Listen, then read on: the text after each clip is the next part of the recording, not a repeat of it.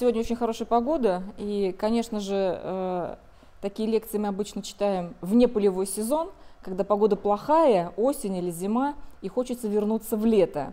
Вот. На самом деле моя сегодняшняя лекция как раз посвящена тому, что хочется вернуться в то самое красивое время для Куликова поля, для ландшафтов Куликова поля, вот, чтобы показать их э, не только значимость такую большую биологическую, но и, безусловно, эстетическую красоту. Тема нашей сегодняшней встречи называется «Природная экосистема Куликова поля». И прежде чем э, говорить об этих экосистемах, мы, конечно же, должны вспомнить, где мы непосредственно располагаемся. И, как вы видите на этой схемке, да, вот э, здесь показаны разные природные зоны территории нашей страны. И вот зеленым показана зона широколиственных лесов. Вот таким вот светло-зеленым там, или светло-голубым даже зона лесостепи. И вот это уже зона степи. Где мы находимся? Мы находимся как раз вот именно здесь. С одной стороны верховьях Дона, с другой стороны верховьях Хаки. То есть как раз на границе находится Тульская область, э, между зоной широколистных лесов и зоной лесостепи. И дальше мы, конечно, обязательно должны вот об этом помнить, даже несмотря на то, что мы будем сегодня говорить о Куликовом поле, которое располагается непосредственно в лесостепной части Тульской области, но лесная зона здесь достаточно близко, и это будет накладывать определенный отпечаток и на особенности тех экосистем, которые находятся на Куликовом поле. что-то не идет. Сейчас, секундочку. А, вот. Если мы говорим действительно уже более подробно о территории Тульской области, то вы видите, что часть территории области действительно лесная и располагается в зоне широколиственных лесов и даже хвойно-широколиственных лесов по Оке. Ну а э, юг и юго-восток области – это лесостепная часть. И именно здесь, в лесостепной части, располагается территория Куликового поля в широком смысле этого слова. Но даже на этой схеме видно, что лесостепные участки показаны желтым, но здесь есть и действительно лесные массивы, которые показаны зеленым. Конечно, их площадь существенно меньше, чем в лесной зоне Тульской области, составляет менее 10, а многие указывают менее 3 или 5 даже процентов территории. А, этой части Тульской области, но тем не менее леса есть. Даже на этой схеме мы с вами видим, что как минимум у нас должны быть здесь степные и лесные экосистемы. Именно они будут тут у нас э, вот такими вот зональными. Итак, э, поговорим о том, какие же экосистемы есть на территории Куликового поля. Я специально вставила этот слайд, дабы показать, что у нас есть самые разные ландшафты. Вот такие склоновые, и обычно на таких склоновых ландшафтах формируются степные сообщества, в небольших западинах или на вершинах балок и водоразделов формируется лесная растительность. Вот здесь вот у нас протекает река Дон, соответственно, есть водные и околоводные экосистемы. Ну и на распаханных территориях формируются различные залежи. Поговорим об этом более предметно. Если мы возьмем карту э, Куликова поля, то здесь мы с вами видим, что э, Рамкой показана территория нашего достопримечательного места. Вот, э, основной фон этой карты вот такой вот светло-желтый, он показывает как раз антропогенно нарушенные земли. Красным цветом показаны э, степные экосистемы. Вот, например, в районе э, Татинок, это тоже часть достопримечательного места. И вот в районе Нижнего Дубика, такой небольшой ручей.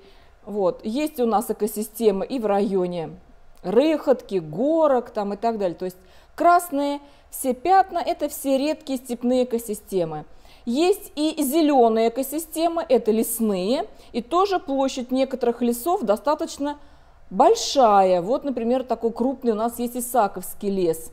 Вот. Другие леса занимают небольшую площадь, подчас это будут посадки, совсем небольшие, но тем не менее для нас это весьма ценные экосистемы.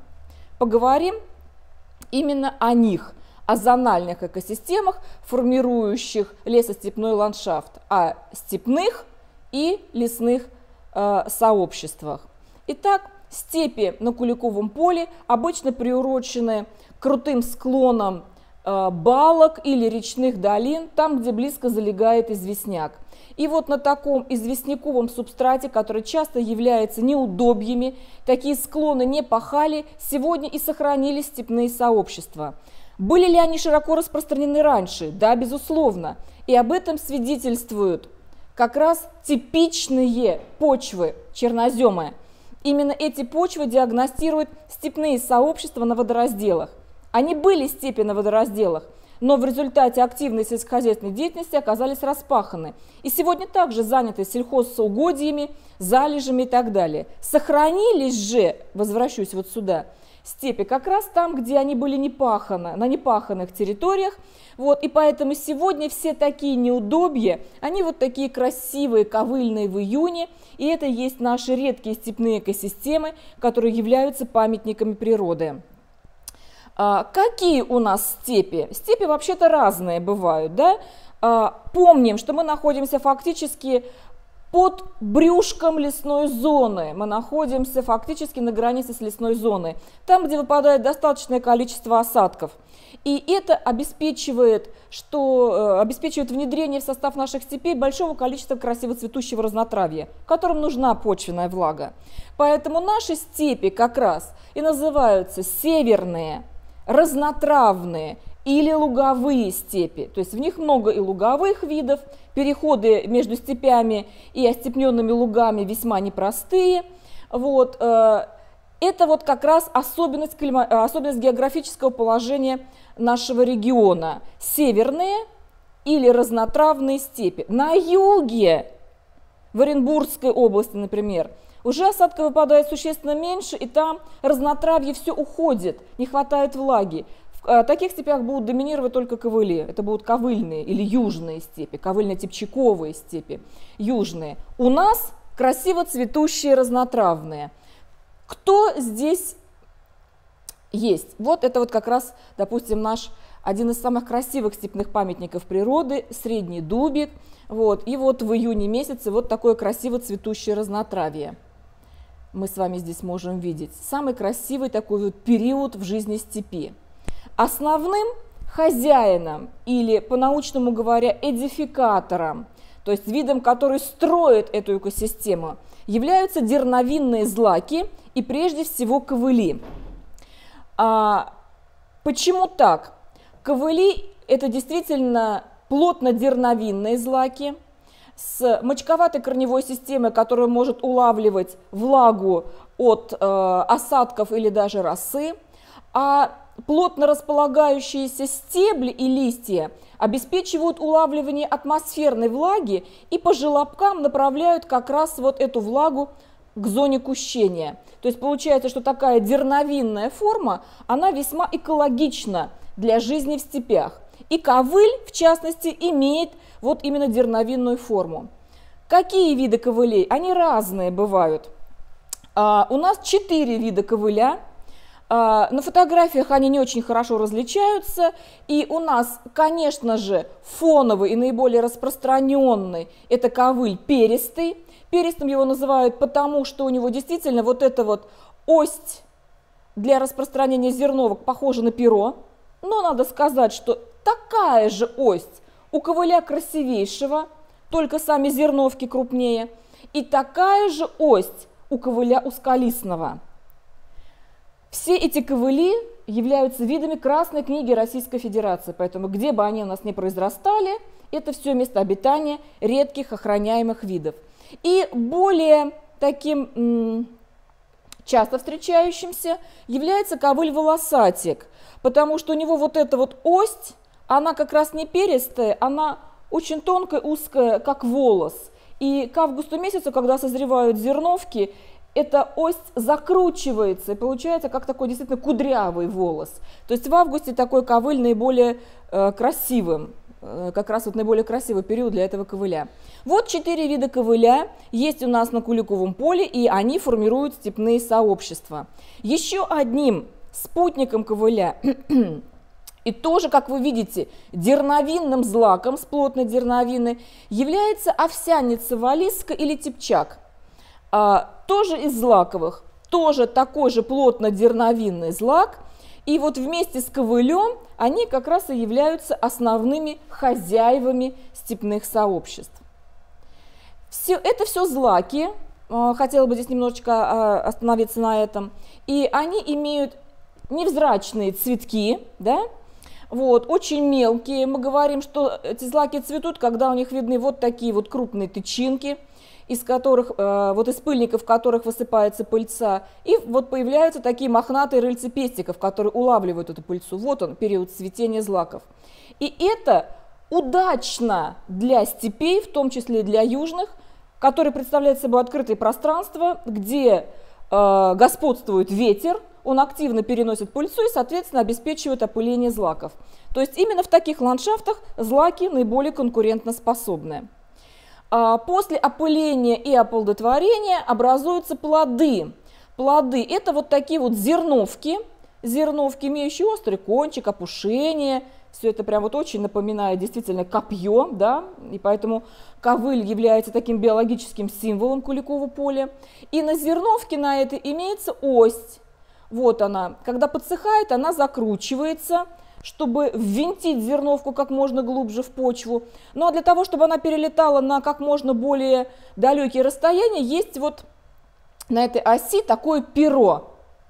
И вот это перо действительно основание для того, чтобы называть ковыль перистым, что называется. Вот благодаря этому перу зерновка ковыля достаточно долго может планировать в токе воздуха, вот, и затем, соответственно, попадает на почву, ну а дальше уже скручивается вот эта вот ось, она подсыхает, и зерновка ввинчивается в почву. Дальше ось сама уже по себе отпадает. То есть таким образом зерновка остается заглубленной. Тоже это приспособление для того, чтобы э, распространяться на открытых сообществах. Перенос при помощи ветра, опыление при помощи ветра, перенос э, семян и плодов при помощи ветра. Это вот все то, что позволяет как раз степным растениям быть наиболее конкурентоспособными в сухих и открытых и на открытых местообитаниях. Ну вот здесь как раз красота этого, этой ости, этого пера. Именно это перо придает ковылю серебристый такой вот оттенок. И э, в июне месяце у нас море колышущихся ковылей, вот как раз благодаря таким остям э, серебристого такого тона, серебристого тона. Но, э, вы знаете, в таких степных сообществах, если только злаки, но и осоки, и хотя у нас осоки ассоциируются обычно с чем-то влажным, тем не менее мы должны сказать, что существует и степная осока. Вот такая осока низкая, маленькая, и она тоже дерновинная. Вот она, тоже такой дерновинный представитель степной флоры. А, вот она такие формирует подушечки дерновинки. Она тоже является степным растением. Но помимо ковылей в наших степях, конечно, очень много того самого разнотравья, красиво цветущего, который придает очень такой жизнерадостный облик нашим степным сообществам. И многие виды там действительно в этих сообществах редкие. Например, вот это вот лен желтый у нас растет, а вот этот вот, э, вот это растение очень редкое, таким специфическим запахом из семейства губоцветных, то есть родственник лаванди, например, называется змееголовник крюша. Вот такие фиолетовые, так сказать, с фиолетовыми цветами а, имеются растения. Дальше у нас несколько видов клеверов. И это не обычный клевер ползучий там, или клевер гибридный, клевер луговой. У нас, например, есть и более редкие, например, клевер альпийский. Вот, очень похож на клевер средний, Немножко похож на клевер луговой, но вот там у него опушенная чашечка и длинные листочки. А вот это вот такой вот клевер с белой головкой, но не стелющийся, а прямостоячий, называется клевер горный. Вот, он тоже встречается в наших степных сообществах. Ну вот видите, два клевера по-разному окрашены. Есть в наших степях и ирисы, в частности ирис безлистный, очень низкий ирис, фиолетовый, с фиолетово окрашенными цветами, редкое растение – э, так сказать, находящиеся вот под охраной в Тульской области. Есть герани, ну вот это вот, например, герань кроваво-красная. То есть, видите, даже уже на этом слайде видно определенное разноцветие. Ну, а здесь вот еще раз покажу чуть ближе плотную такой вот дерновину льна желтого. Есть у нас красиво цветущие разные вероники. Например, Вероника широколистная, есть колосистая с похожими цветами, Вероника седая. Вот. А вот это вот уже из однодольных, вот венечник ветвистый, тоже редкое лесостепное растение, занесенное в нашу Красную книгу. А в степных сообществах, э, как я уже сказала, многие виды растений приспособлены именно к открытым ландшафтам и засушливому климату. И часто они формируют очень сходную жизненную форму. Например, такая жизненная форма характеризуется тем, что у растений очень узкое основание, затем активно ветвящиеся побеги и, соцветия, э, формирующие фактически шар. И когда в цветках образуются плоды, то само вот эта вот, сама надземная часть, она уже, собственно говоря, не нужна растению, она подсыхает и легко отделяется от э, почвы. И получается, что такой вот шар легко перекатывается ветром по открытому ландшафту. При этом происходит рассеивание семян. Такая жизненная форма называется перекати поле. И многие растения имеют такую форму. Вот, э, в наших степных сообществах, вот, например, качим высочайший или гипсофила, как раз имеет жизненную форму перекати поля, а также очень интересное, но менее редкое растение, резак зонтичный, например. Поскольку э, все-таки степные сообщества формируются на сухих местообитаниях, конечно, многим растениям не хватает влаги, и они пытаются к этому адаптироваться, как-то ее запасая. Соответственно, формируют какие-то запасающие органы э, для того, чтобы эту воду запасти. Например, луковицы – и э, луковица, вот, например, у гусиного лука малого, который является типичным степным растением, благодаря запасу воды в этих луковицах э, гусиный лук цветет достаточно рано, в мае, ну, может быть, в начале июня. Видите, здесь на фоне еще, так сказать, жухлой остальной травы вот, э, образует плоды и семена, развеивает их, а потом надземные органы отмирают. То есть в течение лета мы его уже не увидим. Но, еще раз подчеркну, за счет запаса питательных веществ виден весной, когда еще есть какой-то и запас влаги в почве. Дальше. Другие растения, например, очиток малый, запасают эту воду вот в своих листочках. Мы знаем, например, алоэ да, или очиток моргана, который растет э, в комнатных условиях. А вот такой вот малый, действительно там несколько сантиметров всего высоту растения, встречается у нас на каменистых россыпях, там по нижнему дубику, по среднему дубику. Тоже растение таким образом адаптируется к засушливому субстрату. Другие растения адаптируются немножко по-другому. Например, они формируют такой вот белесый налет – для того, чтобы избежать излишнего нагрева листьев. Так же, как мы одеваем белые панамки, да, чтобы, так сказать, не перегреваться. Вот растение формирует такой вот белесый налет. И, соответственно, часть солнечных лучей от этой белесой поверхности отражается. Соответственно, лист нагревается меньше. А раз меньше нагревается, значит и меньше тратит воды на охлаждение своего тела. То есть тоже такое вот приспособление. И, как ни странно, именно таким приспособлением обладает подорожник средний не тот большой, который у нас по обочинам дорог растет, а именно его еще называют подорожник степной. Вот, благодаря вот как раз такому опушению может существовать в засушливых условиях. Или редкое растение, прям посмотрите, с седыми фактически листьями, седыми от опушения, астролодочник волосистый, который является у нас также охраняемым. Другие растения пытаются по-другому адаптироваться к недостатку влаги, например, уменьшая поверхность листа. Известный нам с вами подорожник, если мы вспомним, имеет такой достаточно сильно рассеченный лист. Не цельный, простой, а сильно рассеченный. Тоже таким образом он пытается уменьшить поверхность э, для охлаждения своего тела. И вот э, получается такой перистый лист. Еще одно растение очень интересное, пион тонколистный – а, в нашей области естественным образом не произрастает крупная популяция в Курской области, но у нас есть друзья там, и они нам дали семена. И сегодня пион мы выращиваем на коллекционном участке, не в естественных сообществах, а на коллекционном участке, дабы дать представление о том, какие вообще другие степные растения могут расти даже вне нашей полосы. Но если мы с вами посмотрим на этот пион, это вообще красная книга, то тоже обратите внимание на узкие, фактически игольчатые листья. Тоже уменьшение площади листа для того, чтобы существовать в таких засушливых условиях.